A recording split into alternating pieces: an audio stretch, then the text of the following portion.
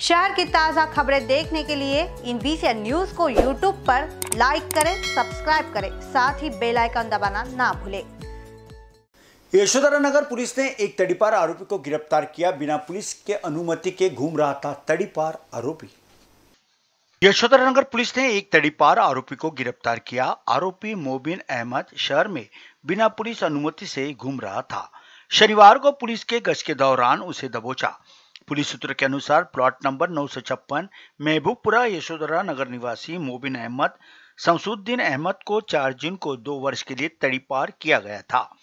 Police ने गुप्त सूचना के आधार पर शिव शक्ति नगर, गली नंबर तीन, यशोधरा नगर परिसर में उसे चाकू सहित धर दबोचा। आरोपी के खिलाफ हथियार प्रतिबंधक कानून के तहत मामला दर्ज किया गया। पुलिस उपायुक्त नीलोत्पल सहायक पुलिस आयुक्त, कार्यकर्ते के मार्गदर्शन में यशोधरा नगर थाने के वरिष्ठ पुलिस निरीक्षक दीपक साखरे व सहयोगी ने यह कार्रवाई की है। नागपुर के यशोधरा नगर पुलिस थाने से कैमरा पर्सन वीरेंद्र खोबरागड़े के साथ संजय मीरे इन न्यूज़ नागपुर।